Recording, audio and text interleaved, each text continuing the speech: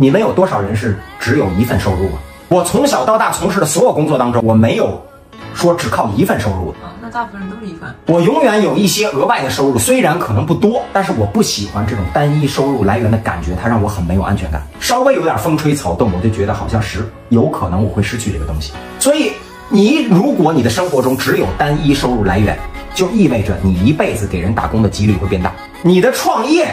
你那不叫创业，你那叫孤注一掷的豪赌一把，辛辛苦苦给人打工多少年，攒了一些钱，每天朝九晚五的打工过程当中，你了解了整个行业的内幕，苦其心志，劳其筋骨，你已经修炼到了足够的这个积攒到了足够的呃那个那个能力，然后准备这个渡劫破关，啪，把所有的钱非常有信心的砸在了一个在别人看起来可能明显就是个陷阱的这样的行业当中，然后一无所有。你最后归功于什么？哎，不幸运，哎，被骗了，哎，怎么样？你就活该。你在单一收入来源打工的整个过程当中，你根本就没有任何的抗风险能力，并且你没有在这个过程当中去学习你未来投资的你根本不了解的那个行业，你去投资。我年轻时候犯过很多这样的错误，我亏的所有投资的钱都是这件事情我认为稳赚。